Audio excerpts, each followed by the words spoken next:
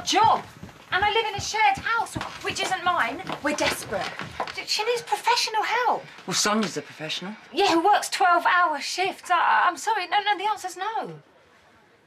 Maybe we should just drive her out west and uh, leave her there. The authorities would have to take her in then. Babe, if you're going to say something, say something sensible. More sensible than keeping a woman like that in here. We make an anonymous call. She's picked up. Could be in a new bed by tonight. You're not seriously considering this, abandoning her? No, of course not. It's not abandoning her if it's in her best interests. Oh,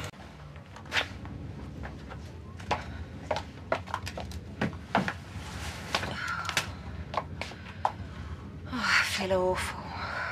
No, no. What choice do we have? Come here. 也别开。